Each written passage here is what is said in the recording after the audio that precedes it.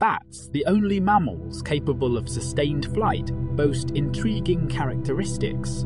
They use echolocation to navigate and locate prey in the dark. Some species have a lifespan exceeding 30 years.